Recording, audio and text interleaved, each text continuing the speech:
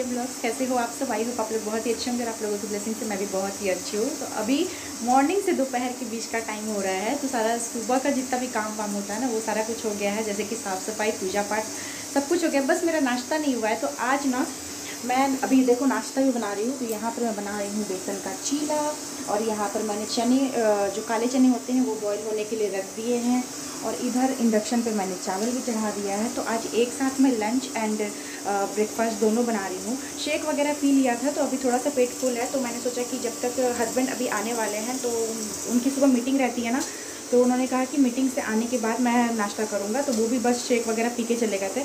तो फिर मुझे भी थोड़ा टाइम मिल गया था कि चलो फटाफट से जब तक वो मीटिंग में रहेंगे अपना, जब तक मैं अपना इधर काम निपटा लूँगी। तो फटाफट से मैंने झाड़ू पोछा करके नहाई, पूजा पाठ किया और इसका टेम्परेचर थोड़ा लो कर देती हूँ, नहीं तो फिर ना चावल जलने का डर रहता है। पर मैंने ब्लूटूथ लगा लिया था तो मैंने सोचा कि चलो काम करते करते अपना कुछ भी वीडियोस वगैरह भी देखती रहती हूँ ना तो जब कुकर की सीटी वगैरह मारती है तो फ़ोन से कुछ सुनाई नहीं देता, इसलिए मैंने ब्लूटूथ लगाया हुआ था। तो मैंने सोचा कि चलो अपना भी ब्लॉग स्टार्ट कर लेती हूँ मैं, और भूख भी मुझे लगी गई है तो फटाफट से अब जब तक मेरे इधर चने बॉयल हो रहे हैं, जब तक मेरा इधर चीला बन जाएगा, जब तक प्रेशर निकलेगा तो यहाँ पर देखो फटाफट से लहसन वगैरह भी छिल रही हूँ मैं प्रिपेयर कर लेती हूँ। कहीं ऐसा ना हो कि फिर बैठे रहो इससे टाइम वेस्ट करने से अच्छा है। मैं सोच रही हूँ कि आधे घंटे से पैंतालीस मिनट के अंदर खाना भी बना लूँ। तो चलो फिर आप बने रहो मेरे ब्लॉग में और देखते हैं कैसा क्या बनता है। और मैंने इसे बेसन में ना बॉइल्ड आलू मैंने ऐड किया था और प्याज, टमाटर, दो हरी मिर्च, ज़ीरा और बाकी थोड़े थोड़े सूखे मसाले टेस्ट के अकॉर्डिंग नमक डाल के बस इसका एक बैटर तैयार कर लिया था। और ये कुछ इस तरीके से बन गया है। और आज बीटरूट ख़त्म हो गई थी तो इसलिए ये थोड़ा रेड रेड नहीं दिख रहा है, थोड़ा येलो ही दिख रहा है, वरना रेड रेड हो जाता है और ज़्यादा टेस्टी भी लगता है सुंदर भी दिखता है। तो चलो अब मैं फटा, फटाफट तो आप बने रहो मेरे ब्लॉग में। तो अब जब तक उधर दोनों गैस मेरे ऑन है, यहाँ पे फटाफट से मैं मसाले प्रिपेयर कर लेती हूँ तो मसाले में लहसन की मात्रा ज़्यादा होगी, क्योंकि चने, छोले ये सब में ना लहसन और प्याज ज़्यादा डलता है तो यहाँ पे मैंने लहसन ले लिया है और सबको एक एक करके छील लूँगी। और इस बार लहसन मेरे इतने छोटे छोटे से आए थे ना कि उसे छीलने में बहुत ही ज़्यादा दिक्कत हो रही थी। और यहाँ पर साथ साथ में मैं चीले को पलटी भी करती जा रही हूँ और यहाँ पर लहसन को भी छीलती हुई जा रही हूँ। और मसाले में, मैं बताऊँगी आगे आपको क्या क्या डल रहा है और यहाँ पे एक चीला मेरा रेडी हो गया है। अब मैं दूसरा भी बना लूँगी और टोटल तीन चीले बनेंगे इस बैटर में। तो डेढ़ मैं खा लूँगी, डेढ़ हस्बैंड खा लेंगे, क्योंकि एक ही बहुत ज़्यादा हैवी हो जाता है और दो खाने की तो मतलब वो हो मतलब हिम्मत ही नहीं होती कि दो खा पाऊँ। और अगर दो खा लिया तो फिर लंच का तो भूल ही जाओ कि आप लंच भी कर पाओगे, इसलिए फिर मैंने डेढ़ डेढ़ करके खा लिया। अब यहाँ पे देखो लहसन, अदरक, मिर्च और प्याज डाल दिया मैंने एक बड़ा सा और यहाँ पे एक से दो दालचीनी का टुकड़ा मैंने डाला है और थोड़ा सा ज़ीरा डाल के इसमें थोड़ा सा पानी ऐड करके बस इसका एक पेस्ट हम लोग रेडी कर लेंगे। यहाँ पर मैंने मसाला रेडी कर लिया है, लहसुन, अदरक, मिर्च का जो मैंने अभी आपको दिखाया पेस्ट और यहाँ पे टमाटर की प्योरी भी बना कर रख ली है। और यहाँ पे अब दूसरा चीला बन रहा है और ये वाला चीला मैं जा रही हूँ खाने के लिए। तो मैं यहाँ पर आ गई हूँ अपना नाश्ता लेकर और मैंने चीरे को सर्व किया है दही के साथ। आज मैंने चाय नहीं बनाई क्योंकि चाय मैंने सुबह पी ली थी, इसलिए मैंने सोचा कि दही के साथ ही कर लेती हूँ और अभी चाय बनाने का टाइम भी नहीं है क्योंकि तीनों साइड गैस पे मतलब कुछ ना कुछ बनी रहा है इंडक्शन पर भी कुछ ना कुछ बनी रहा है। तो इसीलिए फिर मैंने चाय स्किप कर दिया और यहाँ पे दही के साथ सर्व कर लिया मैंने। दही के साथ भी बहुत ही अच्छी लगती है। और बेड की हालत देखो, कपड़े कितने फैले हुए, सारे धुले हुए कपड़े हैं। बस उठाकर मैंने रख दिया है, क्योंकि आप मौसम देख सकते हो। मौसम अभी ऐसा हो रखा है ना। सो मतलब दो दो दिन से तो बारिश ही हो रही है कंटिन्यू बारिश हो रही है। तो इसी वजह से अभी मौसम ऐसा सुबह से धूप बिल्कुल भी नहीं निकली है। तो इसीलिए फिर जितने भी कपड़े सूख रहे हैं तो फिर उठाकर अंदर रखी जा रही है। और अभी मैंने मशीन भी नहीं लगाई, क्योंकि मशीन में बहुत सारे कपड़े हो गए हैं। धुलने के लिए। तो चलो फटाफट से मैं अपना नाश्ता कर लेते बहुत ज़ोरों की लग गई है भूख।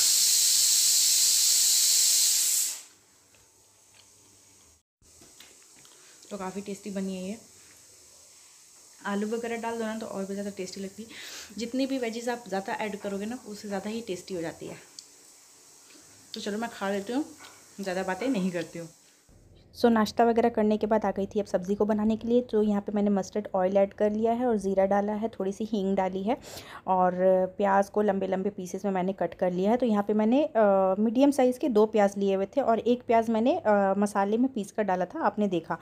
तो छोले वगैरह में ना मसाले और प्याज की क्वांटिटी ज़्यादा रहती है तो अच्छी लगती है और इतने देर में मेरे कुकर का प्रेशर भी निकल गया था। तो देखो मैंने तीन आलू भी इसमें डाल दिए थे क्योंकि सिर्फ़ चने मुझे नहीं अच्छे लगते मैं इसमें आलू डालकर बनाती हूँ तो उसे आप रोटी के साथ भी फिर खाओगे ना तो अच्छी लगेगी और चावल के साथ भी अच्छी लगती है। और अभी बना ले रही हूँ तो फिर मेरा ये रात का भी हो जाएगा। रात में मुझे सब्ज़ी नहीं बनानी पड़ेगी। अगर मसालेदार सब्ज़ी बनती है ना तो मेरा दो टाइम चल जाता है।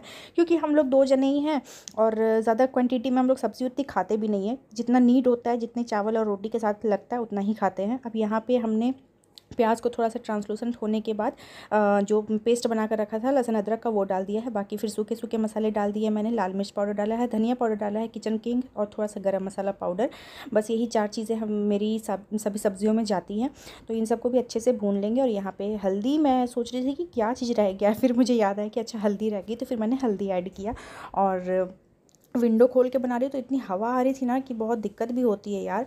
उसके बाद यहाँ पे मैंने जो टमाटर की प्योरी बना के रखी थी, वो भी मैंने ऐड कर दिया है और इसे अब हम लोग चलाते रहेंगे और यहाँ पे टेस्ट के अकॉर्डिंग मैंने नमक भी ऐड कर दिया है और जब चने मैंने बॉईल किए थे, उसमें भी मैंने थोड़ी सी हल्दी और थोड़ा सा नमक डाला था ताकि चने में अच्छे से मतलब नमक चला जाए। ऐसा ना हो कि फिर सिर्फ़ मसाले में ही नमक नमक लग रहा हो और चने में नमक ना लगे। उसके बाद मैंने यहाँ पर थोड़ा सा दही डाला है। ये ऑप्शनल है, आप चाहे तो डाल सकते हो, वरना आप स्किप भी कर सकते हो, लेकिन मैं डाल डालती हूँ क्योंकि बहुत ही ज़्यादा इसे इसकी ग्रेवी बहुत ही ज़्यादा अच्छी हो जाती है और थिक भी हो जाती है। तो यहाँ पे अब जो मैंने आलू बॉईल करके रखे थे, उसे भी पीसेस में इस तरीके से कट कर लिया था। साथ ही साथ मैंने आलू को भी ऐड कर दिया है। अब जैसे आलू वगैरह भी डाला है तो इसी हिसाब से नमक हमने उसी टाइम ऐड कर दिया था। इसलिए मैंने थोड़ी सी क्वान्टिटी बढ़ाकर नमक डाली थी, क्योंकि चने में ज़्यादा मैंने नहीं डाले थे। अब साथ ही साथ मैंने यहाँ पर चने भी निकाल लिए हैं। पहले मैंने करछी से निकालने की कोशिश की, लेकिन थोड़े थोड़े निकल रहे थे और एक हाथ में कैमरा था तो बहुत दिक्कत हो जाती है एक हाथ से कैमरा पकड़ के काम करने में तो फिर मैंने वो ठंडे हो गए थे चने तो फिर मैंने हाथ से ही निकाल लिए। और अभी इसे हम लोग एक से दो मिनट पकाएँगे, उसके बाद बस इसमें पानी हम लोग ऐड कर देंगे। मसाले वाली भी अच्छी लगती है अगर पूड़ी पराठे के साथ आप खा रहे हो तो लेकिन राइस वगैरह के साथ खाना है तो फिर ग्रेवी वाली ही जाएगी। तो यहाँ पे अब मैंने जितनी ज़रूरत थी उतना मैंने पानी ऐड कर दिया है। अब इसे हम लोग ढक देंगे और धीमी धीमी आँच पे पकाएँगे। यहाँ पे ना जितनी थोड़ी सी एक ही सब्ज़ी बनती लेकिन गैस की आप हालत देख सकते हो कैसी हो जाती है। तो फटाफट से मैंने कपड़ा लिया और यहाँ पे गैस और स्लैब को मैंने साफ़ कर दिया है। किचन में मैस फैला रहता है तो बहुत ज़्यादा फिर मन ही नहीं करता काम करने का। उधर राइस भी मेरे हो गए थे तो वो भी मैंने आपको दिखा दिया। और स्लैब अभी पूरा क्लीन नहीं करूँगी, बस अभी हल्का हल्का हाथ से मतलब कपड़ा मार दे रही हूँ और इधर सिंक में इतने से बर्तन पड़े हुए हैं तो अभी फटाफट से मैं उसे भी वॉश कर लूँगी, ताकि इधर का जो अपना काम है, वो निपट जाए तो जब ज़्यादा जैसे जिस दिन दाल चावल ये सारी चीज़ें बनती है ना उस दिन बर्तन भी बहुत ज़्यादा होते हैं। और जिस दिन एक सब्ज़ी बनती है उस दिन उतनी ज़्यादा टेंशन नहीं रहती कि चलो आ, मसाले वाली सब्ज़ी है ग्रेवी वाली सब्ज़ी है तो वो हो जाएगी और प्लस रात की भी छुट्टी हो जाती है। रात में सिर्फ़ रोटियाँ ही बनानी रहेगी। और अब आ गई थी फटाफट से बर्तन वॉश करने के लिए। तो अब देखो जब तक सब्ज़ी मेरी उधर बन रही है तब तक यहाँ पर मैं इधर जो अपना एक्स्ट्रा काम होता है वो सारे निपटा लेती हूँ। ऐसा नहीं कि शाम के ऊपर टाल दिया कि शाम में धोऊँगी या फिर खाना वाना खाने के बाद धोऊँगी जी नहीं। मेरा हमेशा ऐसी रहता है कि जब मैं किचन जाती हूँ तो अपना सारा काम निपटा कर ही किचन से निकलती हूँ। चाहे मुझे एक घंटे लगे, दो घंटे लगे या तीन घंटे लगे, मैं नॉन स्टॉप फिर लग जाती हूँ अपने कामों में। उससे बाद के लिए नहीं टालती हूँ। और एक साथ मल्टीटास्किंग करना वो तो हम हाउसवाइफ के मतलब हाथों में टैलेंट है, आप समझ सकते हो कि हम लोग एक साथ बहुत सारे मल्टीटास्किंग कर सकते हैं।